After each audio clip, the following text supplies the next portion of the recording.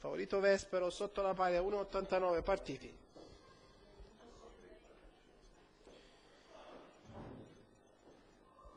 Primi metri con eh, Pericle che tende ad assumere il comando e scende lungo la corda.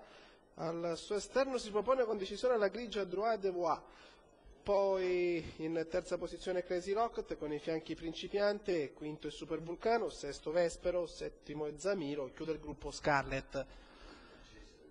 Si affronta la piegata con eh, Droit de Voix in vantaggio a tre quarti della piegata di sinistra, in seconda posizione si mantiene il battistrada iniziale Pericle, poi Crazy Rocket con i fianchi Super Vulcano, quinto è Vespero, sesto è Principiante con all'esterno Scarlet, poi all'estrema attesa chiude il gruppo Zamiro.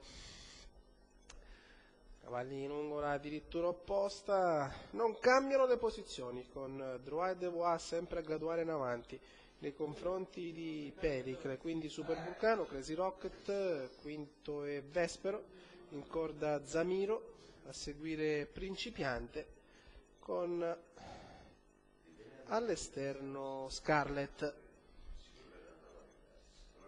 Cavalli che vanno ad affrontare ora la piegata conclusiva con Droit de Voix che ha una di margine nei confronti di Pericle che ritorna all'esterno, quindi Crazy Rocket, Super Vulcano aumenta il ritmo dalle retrovie muove Vespero, ancora Zamiro, principiante Scarlet.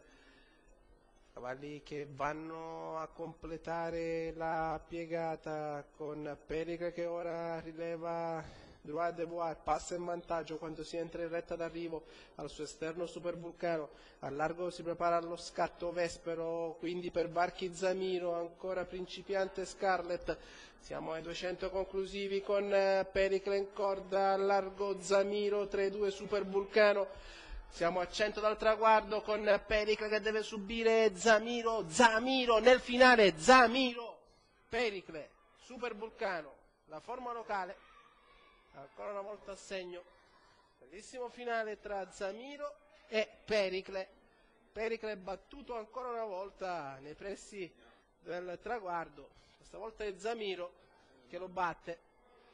L'ultima volta Targaryen questa volta l'altro portacolli della Sheminda Fer Zamiro il figlio di Zamindar con in sella Ivan Rossi per il training del signor Latina